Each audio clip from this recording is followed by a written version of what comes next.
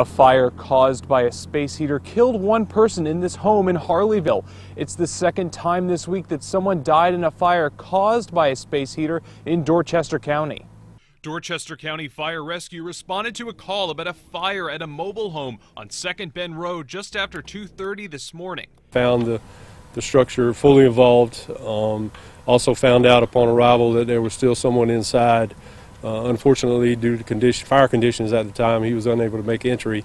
Uh, and as other units came in, we began fighting the fire from a defensive posture, which means from the outside.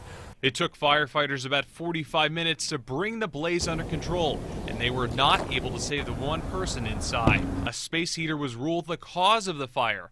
On Monday in Reevesville, another fire caused by a space heater killed another person. Deputy Fire Chief Malcolm Burns said that space heaters can be dangerous if the right precautions are not taken.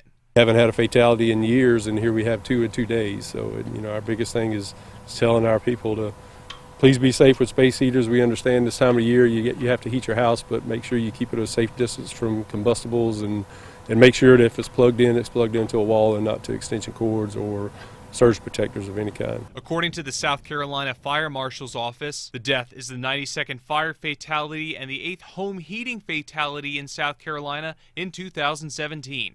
Now, no other injuries were reported in this fire, but the American Red Cross is helping three displaced residents. In Harleyville, Stetson Miller, count on two.